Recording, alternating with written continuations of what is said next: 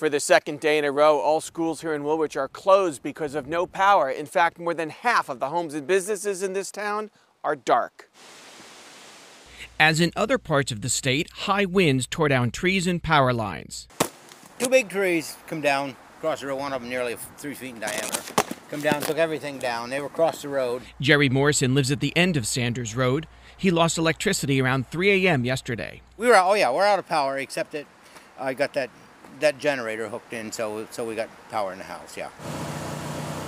His next door neighbor, Ellen Kearns, is also a Central Maine Power customer. Her generator went on automatically in the middle of the night. Like I said, no complaints.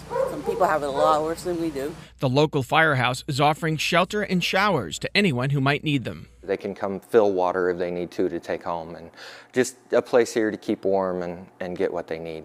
As of now, the nearly 1,900 kids who attend the four schools in RSU 1 don't know whether they'll be back on Monday.